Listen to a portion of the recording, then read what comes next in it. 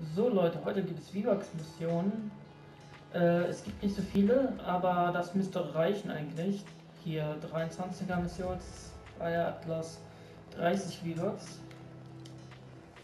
Und dann eine etwas hm, schwierige, aber ich denke mal mit einem guten äh, AFK-Setting kann man das auch bewältigen.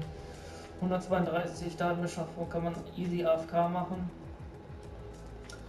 Ähm, sind 40 V-Bucks, macht 70 plus die 50, hat, hätte man 120, geht völlig okay.